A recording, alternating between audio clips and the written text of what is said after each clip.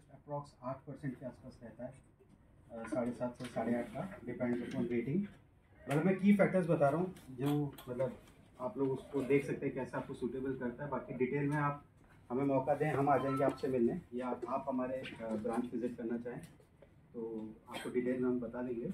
मोटा मोटी ये है कि साढ़े सात करोड़ तक का लोन एक अच्छी रेट ऑफ़ इंटरेस्ट पे, एक अच्छी अपफ्रंट फ़ीस पे प्रोसेसिंग फ़ीस कम है उसमें। Point five, point two five ऐसे वैरी करती है। और सिक्योरिटी में थर्टी परसेंट एफडी रहती है। Twenty to thirty percent FD का रहता है। बाकी कोई उसमें अलग से सिक्योरिटी आपको देने की ज़रूरत नहीं है।